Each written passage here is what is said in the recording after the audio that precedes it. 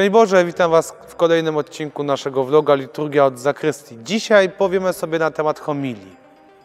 Homilia jest częścią liturgii.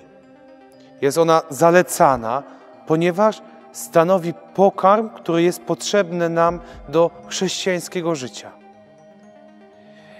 Powinna ona być wyjaśnieniem jakiegoś aspektu czytań z Pisma Świętego albo innego tekstu spośród stałych albo zmiennych części Eucharystii danego dnia. Homilię powinien głosić główny celebrant.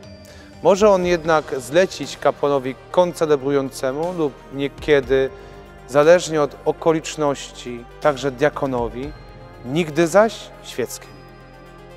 W szczególnych przypadkach i ze słusznej przyczyny homilię może wygłosić biskup lub prezbiter.